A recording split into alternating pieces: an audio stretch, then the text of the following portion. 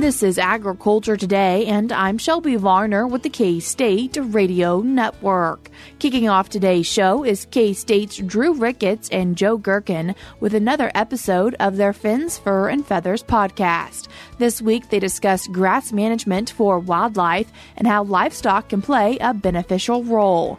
Sandy Johnson, K State Beef Reproduction Specialist, and John Holman, K State Cropping Systems and Forage Agronomist, continue the show by talking through reminders for people wanting cattle to graze cover crops.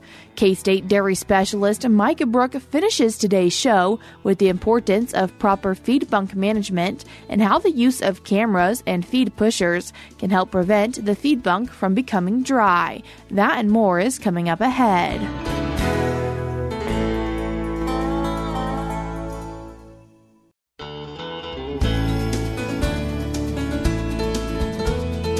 You're tuned in to Agriculture Today, and we start our Tuesday show with another episode of K State's Drew Ricketts and Joe Gerken's podcast, Fins, Fur, and Feathers. Well, welcome back to another episode of Fins, Fur, and Feathers. And Drew, you're going to talk to us today about some habitat management.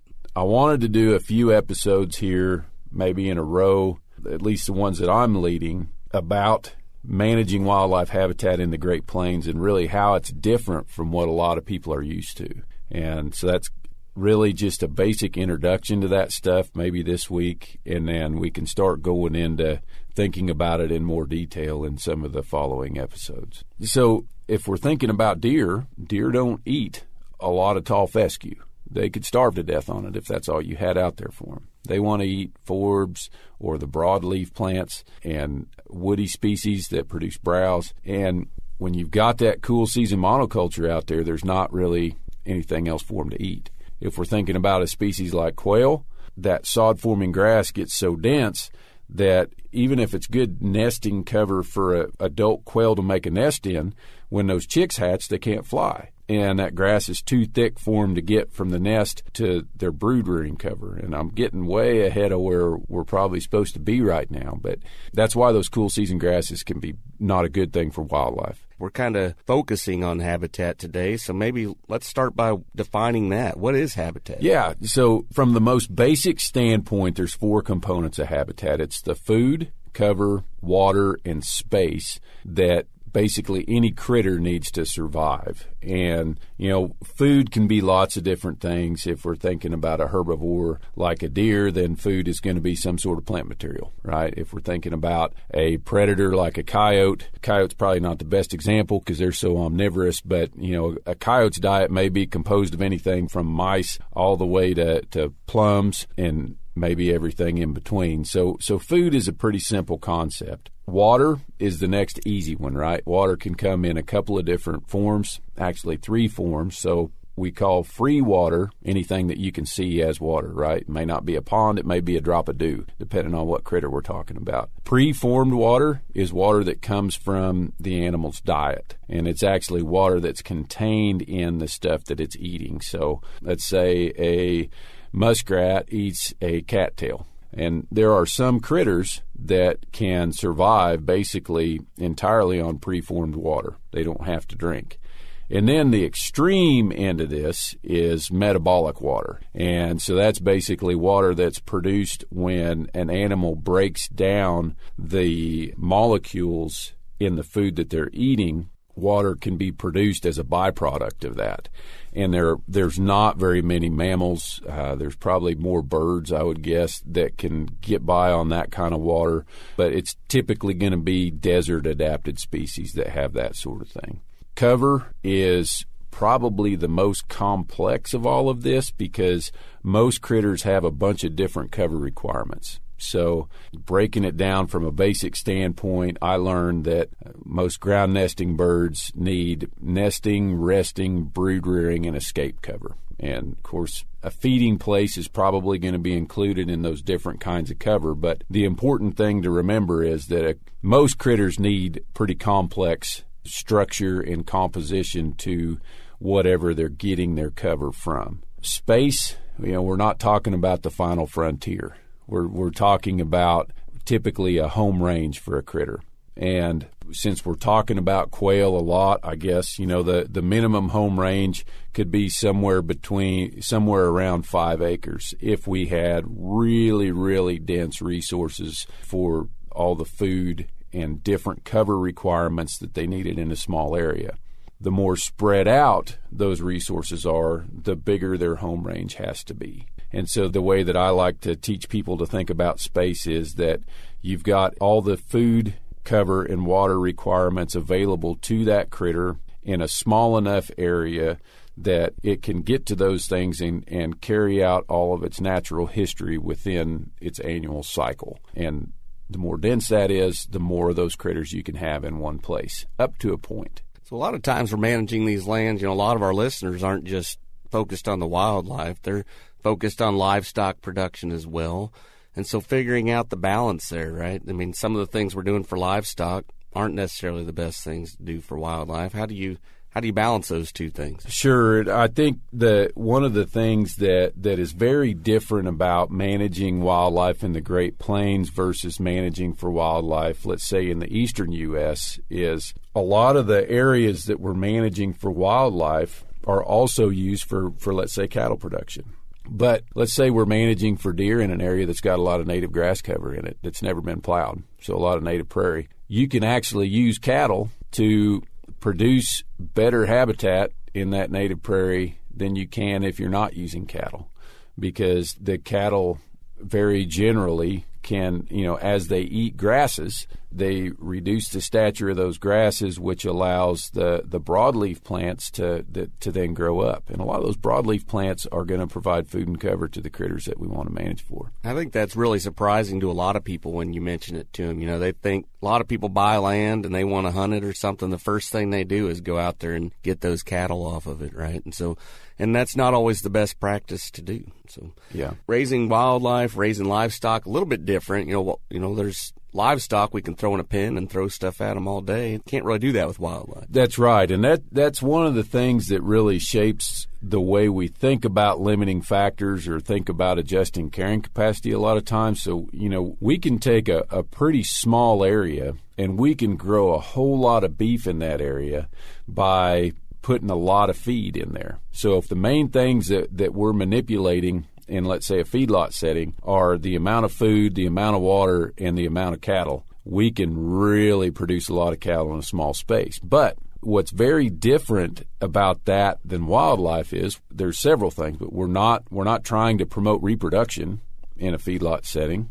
We are also managing density dependent factors or things that would affect a species more or less as it becomes more or less abundant in an area. So lots of those kind of things, let's say density dependent mortality factors. We want to think about that. Well, disease is a density dependent mortality factor. The more critters of species X that you have congregated in a small area, the more likely there is to be a disease that infects them. The disease is going to spread more rapidly, and you might have catastrophic losses for that. Well, in a feedlot setting, we're doctoring those critters right? And so we're reducing that that density dependence there. We also don't have to worry too much about predation in that sort of setting. If we're producing sheep, then we do need to manage predation, but we can still manage that predation with some of the different practices that we use to prevent or control predation. We can't do that very well in wildlife a lot of times in these free ranging populations.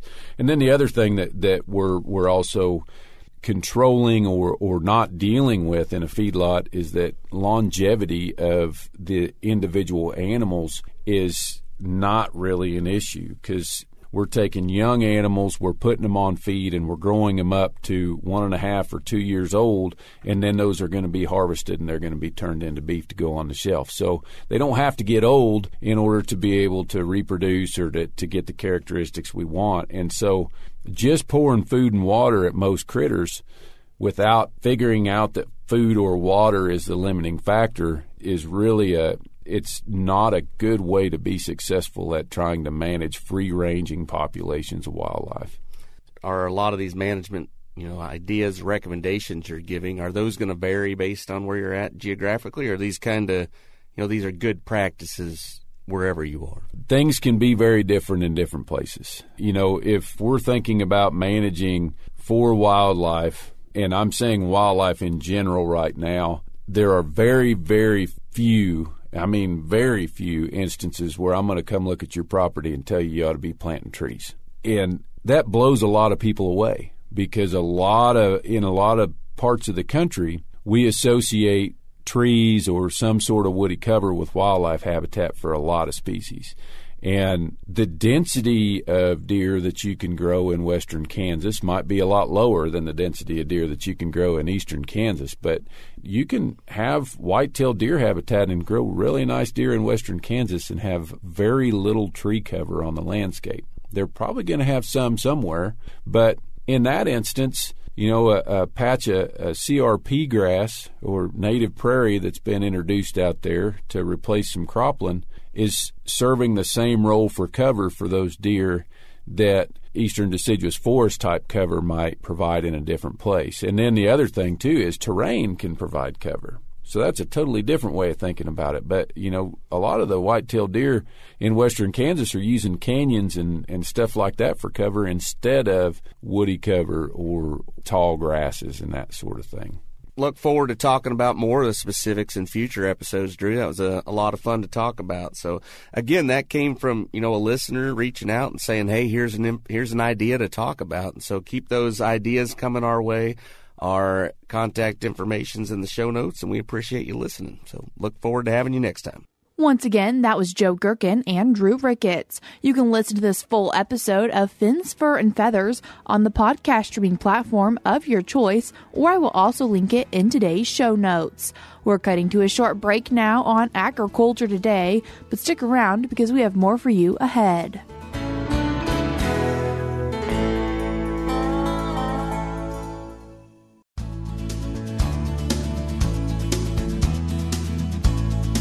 You're tuned in to Agriculture Today, and we continue our Tuesday show talking about grazing cover crops. And then to talk about it, we're joined by K State Beef Reproduction Specialist Sandy Johnson and K State Cropping Systems and Forage Agronomist John Holman. Sandy, John, thank you both so much for taking the time to join us today. Glad to be here. Thank you, Shelby. Thank you, Shelby. John, as we're thinking about grazing cover crops, when should people maybe start getting those animals onto the fields?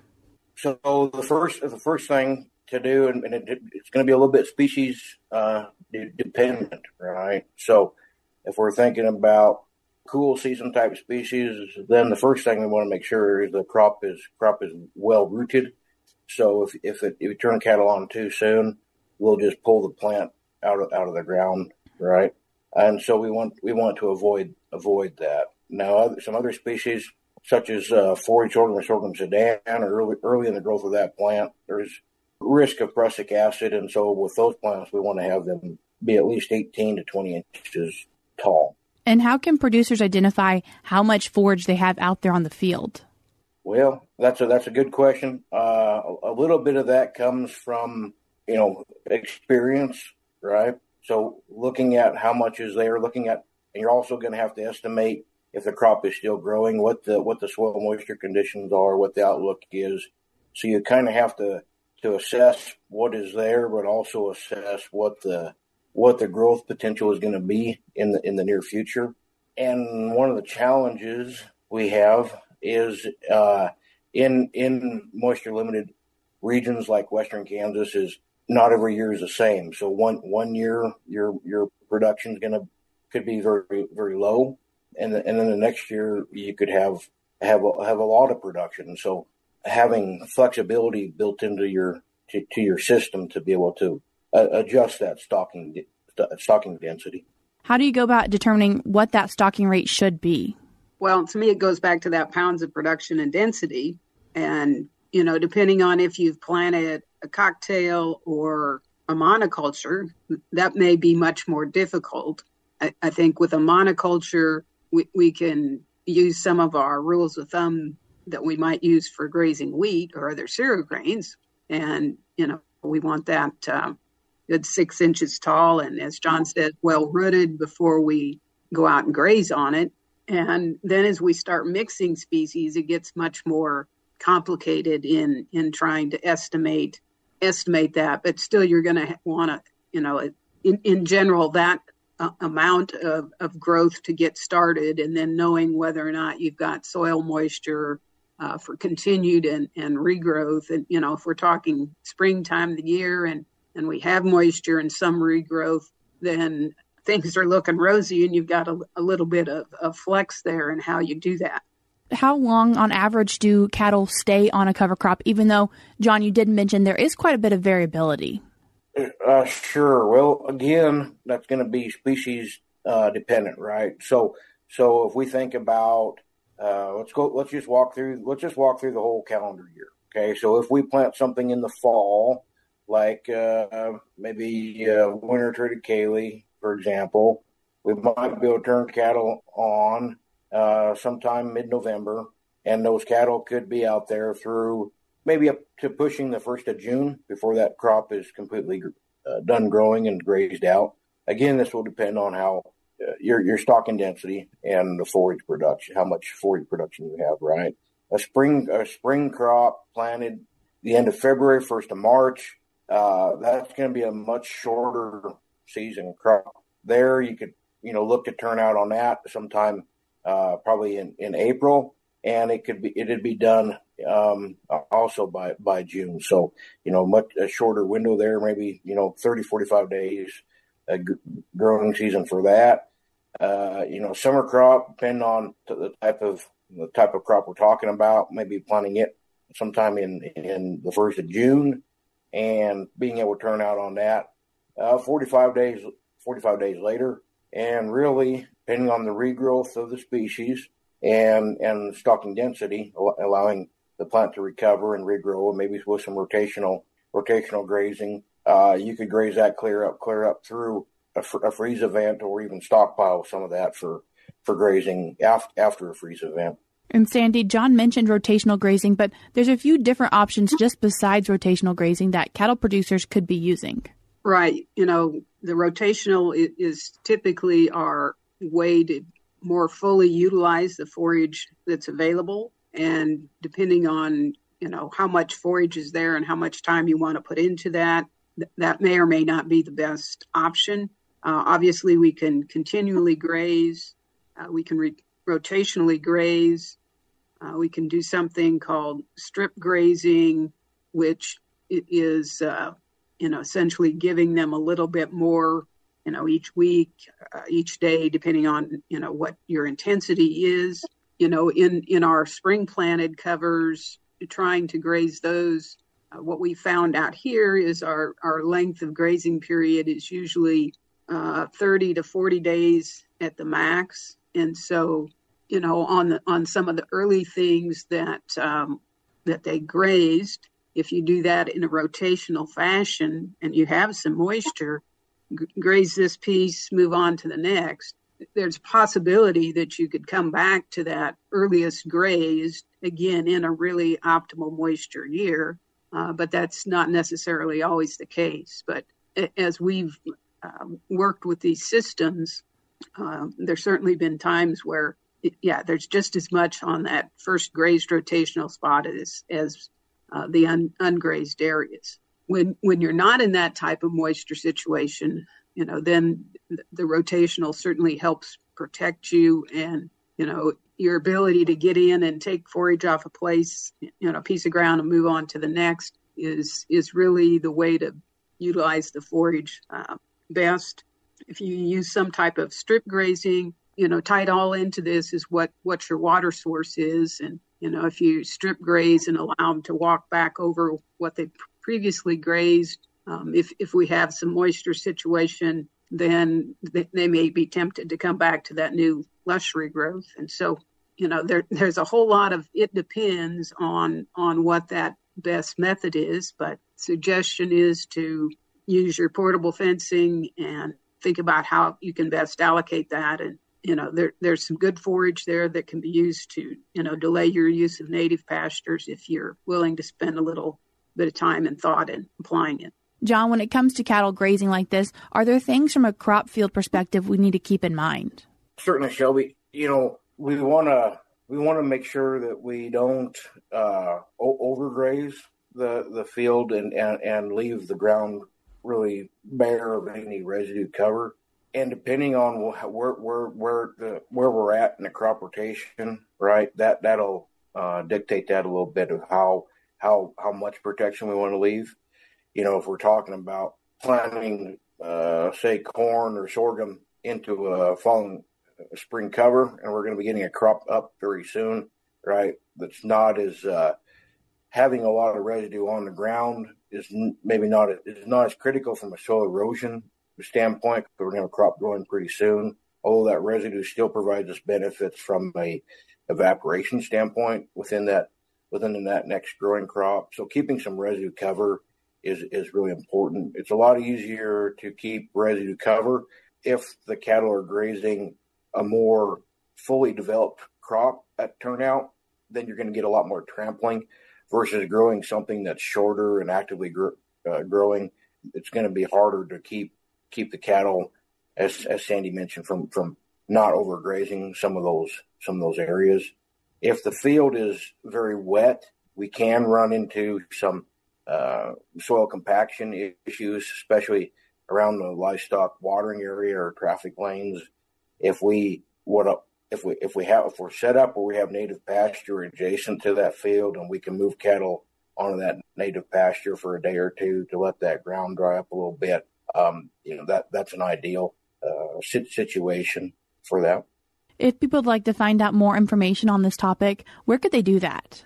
We have a we have a couple of different uh, extension publications on on cover crop grazing. One on on the spring type cro- crops, and the other on on some on summer crops. Uh, in addition to those, we have a lot of different publications on you know these various forage types as far as planting rates, uh, you know, seeding rates, fertility management, uh, and those types of things. I would say, in, in addition, uh, you know, folks could feel free to reach out to uh, either Sandy or myself or their or their local county agent. John, Sandy, I appreciate you both taking the time to join us today and share with us some information about grazing cover crops. Glad to be here. Thank, thank you. That was Kansas State University cropping systems and forage agronomist John Holman, and he was joined by K State beef reproduction specialist Sandy Johnson. In today's show notes on agtoday.net, I will put links to resources if you'd like to find more information about this topic. I will also put the email address for John and Sandy if you'd like to reach out to them with questions. We're cutting to a short break now on Agriculture Today, but when we come back, we'll be joined by K State dairy specialist Mike Brouk for this week's Milk Lines.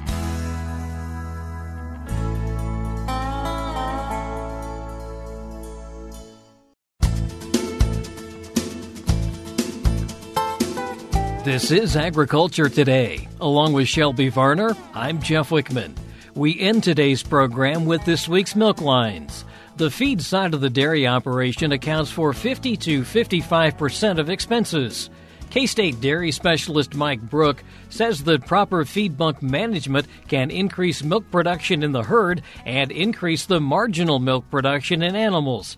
He explains how the use of cameras and feed pushers can help prevent the feed bunk from becoming dry, especially between midnight and the 5 a.m. feeding. Today, I'd like to visit with our Kansas dairy producers concerning increasing marginal milk production. As we look at the revenue and expenses on our dairy farms, one of the things that we really need to consider during this time of tight margins is how we increase marginal milk. That would be increase milk production without creating a lot of additional expense. So as we start to look at our records, one of the things we need to consider is considerable amount of our expenses actually do come from the feed side of the equation. Usually 50 to 55 percent, maybe in some cases a little bit more than that. So as we look at trying to increase margin, it seems as though that would be an area to take a look at. And oftentimes we look at things like feed shrink or forage quality or wet feeds and spoilage of those types of feeds.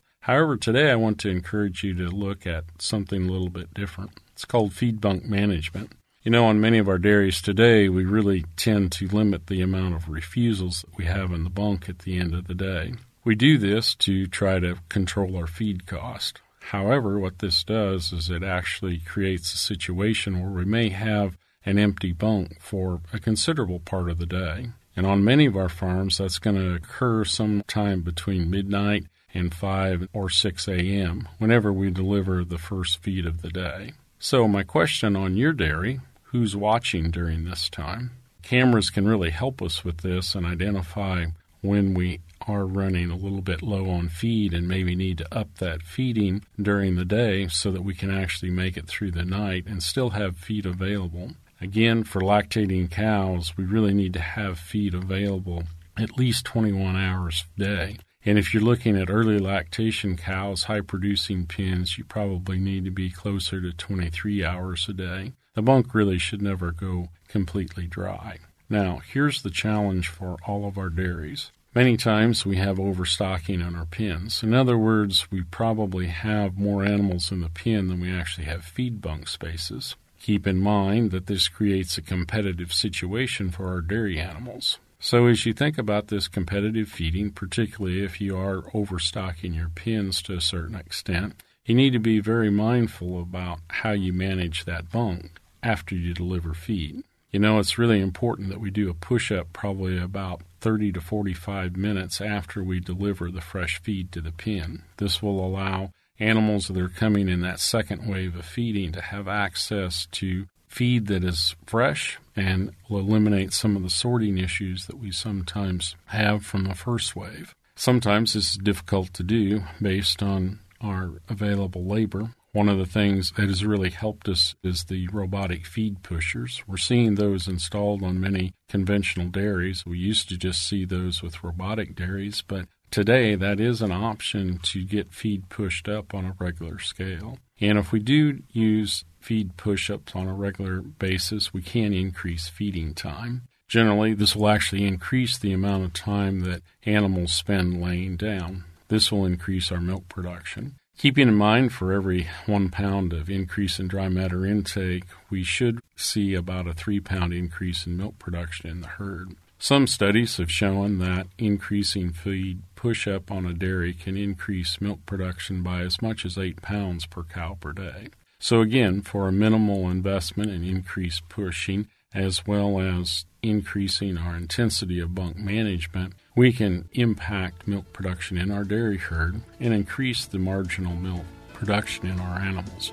This is Mike Brouk with K State Research and Extension, encouraging our dairy farmers not to miss the opportunities that they have to improve feed bunk management to increase intake in their dairy herd. Thanks, Mike. And that'll do it for this edition of Agriculture Today. For Shelby Varner, I'm Jeff Wichman. This is the K State Radio Network.